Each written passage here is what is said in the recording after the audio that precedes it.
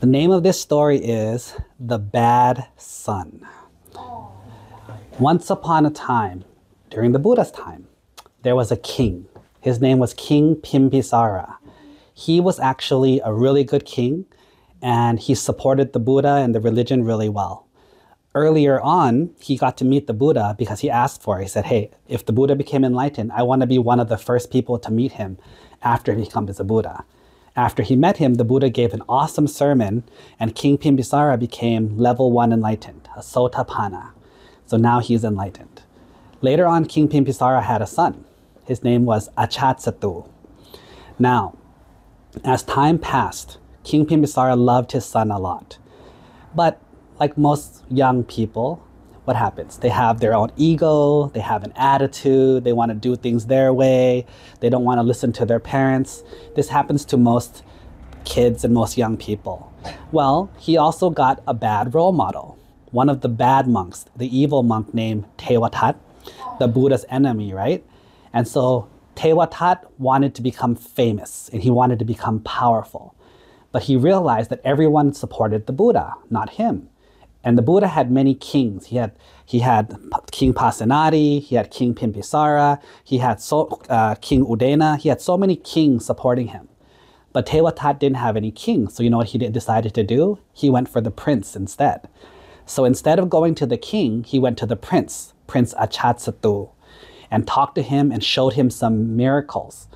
And after he showed him some powers, Prince Ajatasattu was like, oh gosh, I love this guy. I'm going to become his student. And so Prince Ajatasattu began supporting Tewatat. Well, what happens when you have bad teachers or bad friends? They give you bad advice. They tell you bad things. Tewatat wanted to become the leader of the Sangha, of the monks, so he told Ajatasattu, hey, we need to do some stuff. You need to become king. And so Ajatasattu become king. And Father, Father, King said, you will, you will grow up a little bit more, focus on your studies, you know, learn a lot, become a good person, and when the time is right, I'll give you the kingdom. 100%. You're my only son. I love you.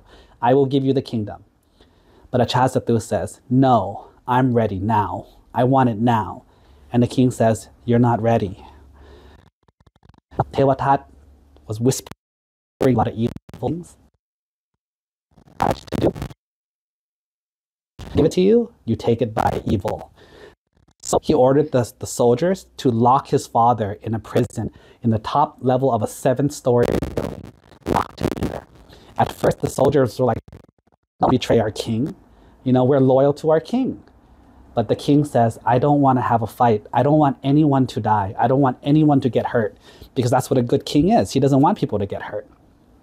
And so he says, if my son really wants it and wants to put me in jail, I will go to jail willingly.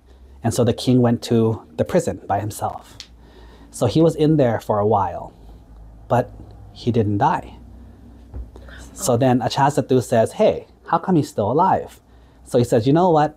Number, let's start this. No more food. Stop giving him food. He's going to die in seven days. But the king had a wife who was very loyal to him.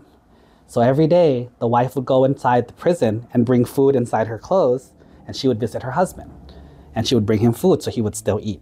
After like two weeks, Prince Ajatasattu was like, hey, how come my dad's not dead? He should be dead by now. And then he realized that the mom was sneaking in food. So now they made sure to search the mom before she goes in. So when they see her at the door, take out all the chicken wings and all the macaroni and cheese, they take out all the food first. Well, now when she goes in, somehow he was still surviving. You know what she did? She would take butter and like uh, kind of like fat and butter and put it on her hair. And then when she went inside, she, he would be able to like kind of take it off of her hair and then eat it to kind of sustain so he wouldn't die. But even after that, he, the prince caught her and said, you know what, you're supporting the king. We want him to die. You cannot visit him anymore. And so she stopped visiting him, but he still didn't die. Do you know what he was doing? Every day he was walking back and forth. He was looking out the window at the temple and he was feeling so happy that he got born into the world that has the Buddha. He got a chance to listen to the Buddha. He got a chance to become enlightened. And that happiness made him not think about the hunger. And so for seven days, he still survived again. And Prince Ajatasattu was like, What happened? How come he's not dying yet? I, I've done everything. So he decided to do one more thing. he took a big knife and had the soldiers cut the king's foot on the bottom, like take a big cut so he can't walk. So now the king's laying in his place, can't walk, suffering and dying. But something weird happened. Around that time, Ajatasattu had his own wife, and she was pregnant. So at the time that he cuts his dad's foot, guess what happened? His wife had a baby. And they called him and said, Prince, Prince, come look, your wife is having a baby. And he would run to the baby and picked up a baby boy. He picked up the baby boy and he hugged the baby boy and he said, Oh, I love my son so much. He felt what it felt like to be a father. And he loved his son and he wanted to give everything to his son and he wanted to protect his son. That very moment that he felt the feeling of a father, he thought about his own father and how much his father loved him and how his father was always good to him. So Ajatasattu felt bad. So he said, Soldiers, go up there. Let my father out. I was wrong. I was wrong. Let him out. Let him out. But when they went up there, guess what they found? He was gone. He was dead. Prince Ajatasattu is now the king. But he's so sad because he did one of the five, remember? One of the five things you cannot do in Buddhism. Do you remember what they were? One of the five unforgivable, heaviest crimes of Buddhism is what? Killing your father, killing your mother, killing an arahant, because remember, making a Buddha bleed or causing the destroying the religion, basically. If you break these five, you go to the lowest hell and for a long time, and it's really bad. And so Prince Ajatasattu felt so bad. So he dedicated the rest of his life to be a good person. He helped support the religion, he helped protect the religion, he did so much good. But if you do a lot of good, can it erase the bad that you did? No, they're separate. So after he goes to hell for a long time, the next time he's reborn, he will be an arahant also. He will become enlightened too. But he has to pay for his crime first.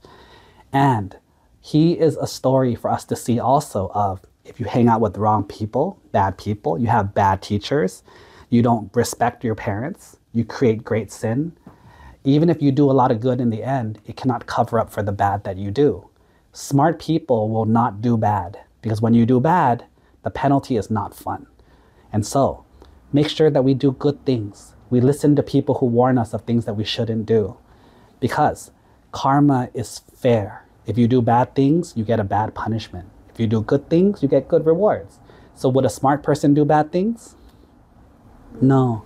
Why? Because we don't want the penalty. We don't want to get in trouble. So then we don't do bad things. Would a smart people do good things? Why? Because we want good results. Does that make sense? Okay, Sadhu. Let's receive the blessing, okay?